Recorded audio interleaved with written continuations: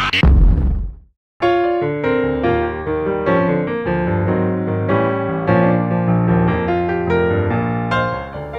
everybody, it's Cash, welcome back. Today I'm going to do transition pictures for Norma Jean Mortensen, otherwise known as Marilyn Monroe. Now let me say before I do this that there's a little bit of disturbing imagery in this set of pictures. So if you're really sensitive or you're triggered easily, maybe this isn't the one for you.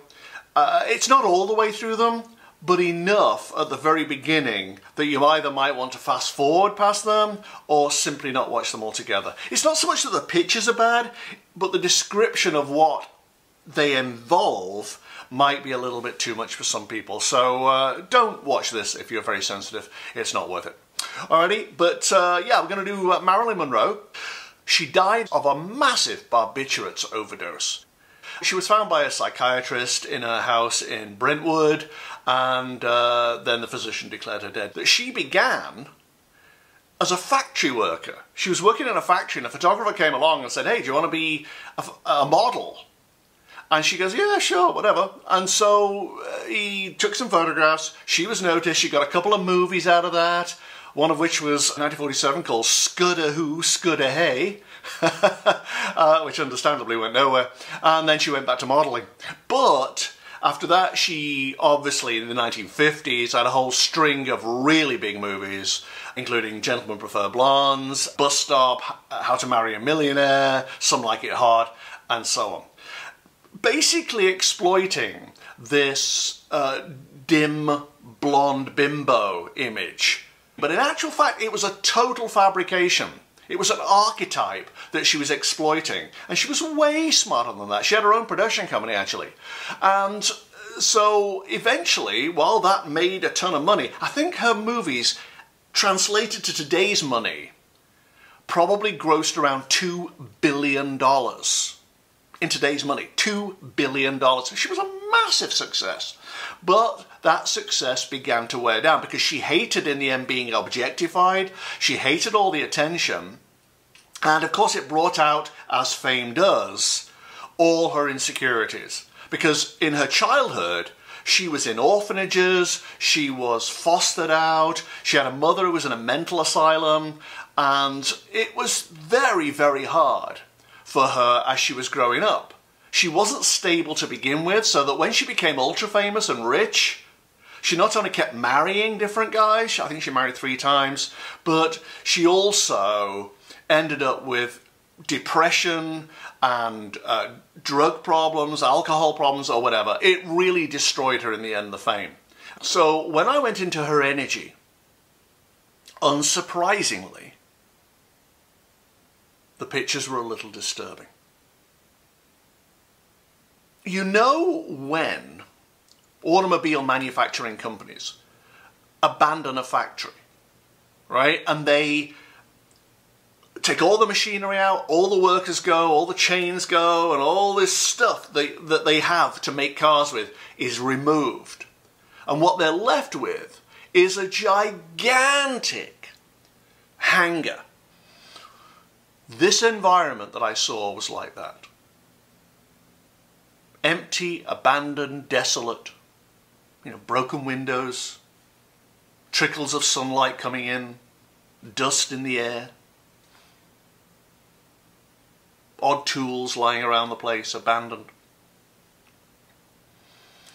And in the middle of this darkness was Marilyn Monroe. But floating, head down, gazing at the ground, not moving. Weirdly, there was a beam of light came in and shone on her back. It kind of illuminated half of her, the back half. And I walked around her and she was just floating there, not moving. And when I was able to see her face, there was no face. In fact, her face, what would have been her face, was almost hanging off in a way to allow me to see inside her head. And inside her head was black and hollowed out. Her body was black and hollowed out. There was nothing there. It felt like the world had taken her very insides, her soul, her being, and shoehorned it out and just left the shell. And all the shell could do was float there full of regrets, pain, confusion,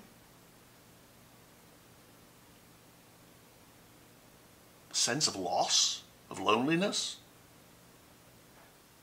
Empty shell.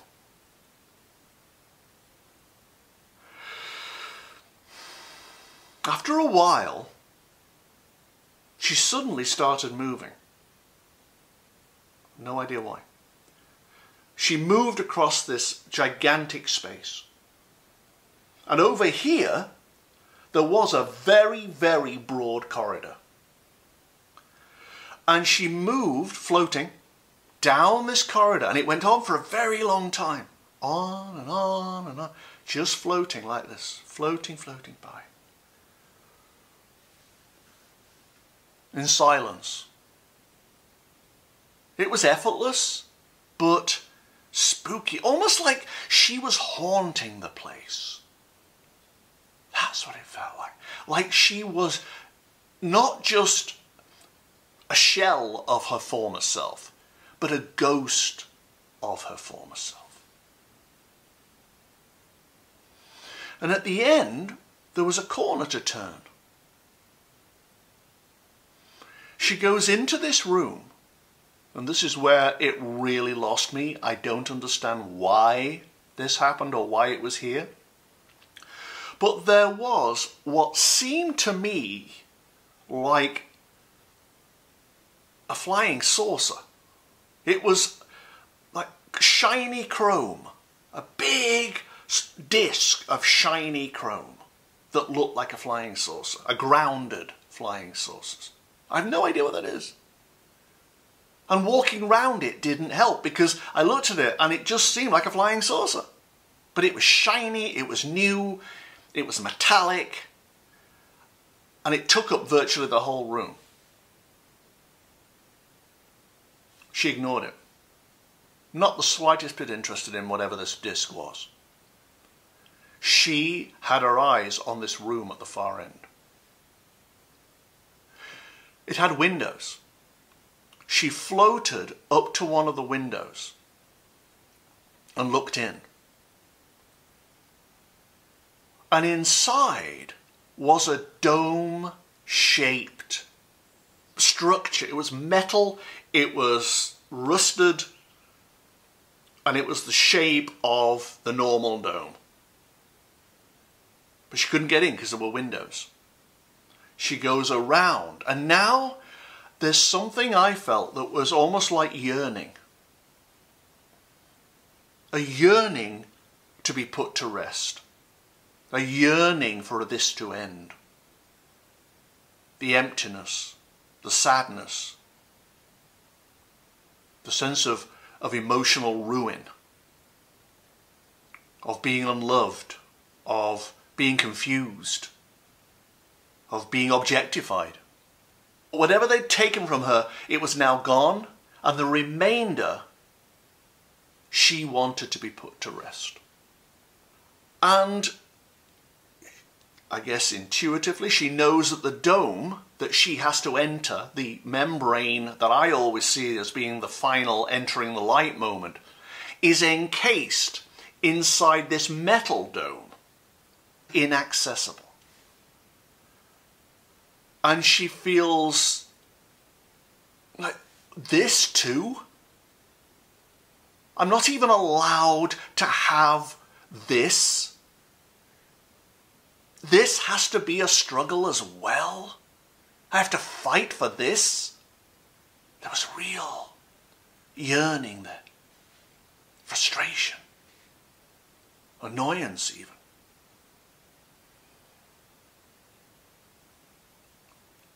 She didn't do anything actually other than just hover there, looking at this thing, trying to puzzle how to get in. But as she was puzzling, the top unscrewed.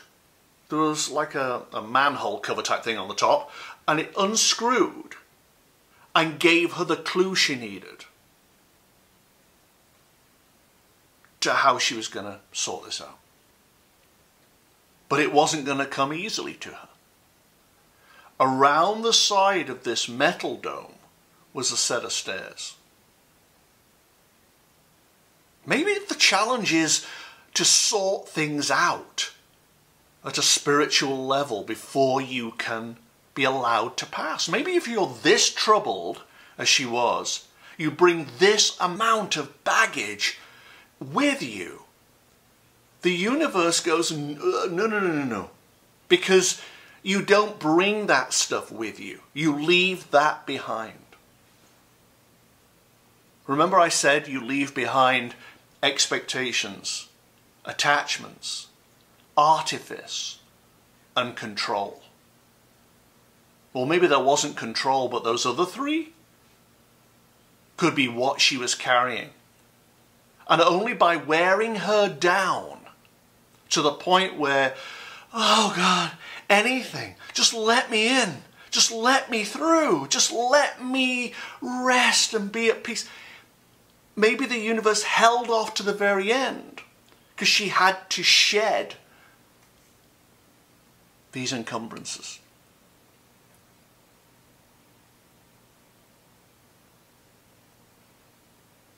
Weary, she sets off up these stairs, gets to the top,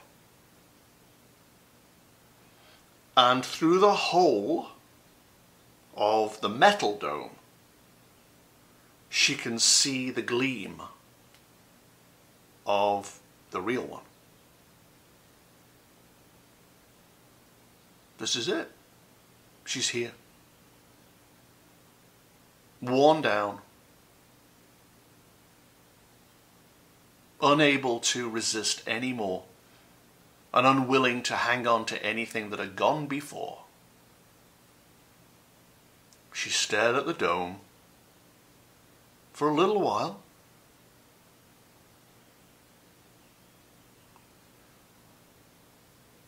And just fell in like a belly flop, in and gone.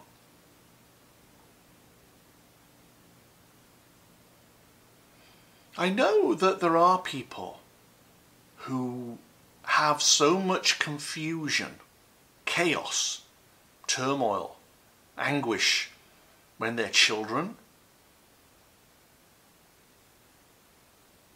that their adult life is spent conjuring up the same chaos. Because weirdly, perversely, it's where they feel comfortable. They understand chaos because they've had to deal with it for years. Uncertainty, not feeling loved, and so on. They've, they've dealt with that because they know about it. And so they, maybe unconsciously, but they create that kind of thing, that, those kind of circumstances in their world. Also, energetically, they bring the same experiences in because that's where their vibration is at. And that's what it felt like with uh, Marilyn Monroe when I found her, she was still in that transition moment of there's nothing left of me. The pieces have been removed that enabled me to function properly. And all she was waiting to do was shed what she didn't need, shed what was holding her back, and then go to the light. But a part of her, the part that was used to chaos, was used to feeling hurt, abandoned, lonely, powerless. That bit she couldn't let go of because she was so used to it. As I said in one of my books, we are the architects of our own undoing. And maybe in the transition process, that applies as well. And we have to undo the undoing before we can uh, fully enter the light at the end. But in any case, unconditional love is there waiting for us and saying, come on, just shed it all. Come on. You'll be whole here. No judgments. Nobody wants anything from you. You can be yourself.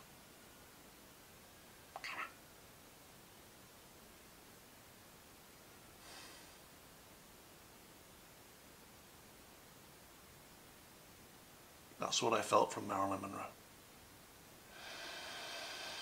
Alrighty, thanks for watching. I really appreciate it. And uh, I'll see you next time. Thanks a lot. Bye bye.